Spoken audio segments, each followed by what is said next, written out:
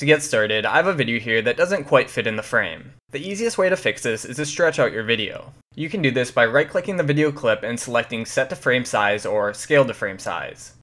You can also adjust the scale manually by selecting your video clip and going up to Effect Controls. Then select Motion so that you can see handles around your video. Now just drag one of the corner ones to stretch out your video. Okay, this looks good, but let's say you want to change the frame size of your whole sequence rather than stretching out your video. To do this, make sure your video clip is selected on the timeline and go up to Sequence.